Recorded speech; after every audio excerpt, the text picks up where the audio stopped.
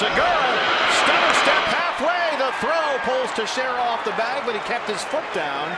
Jean Segura coming down third almost changed his mind. It was a full stutter step stop as Headley tried to look him back.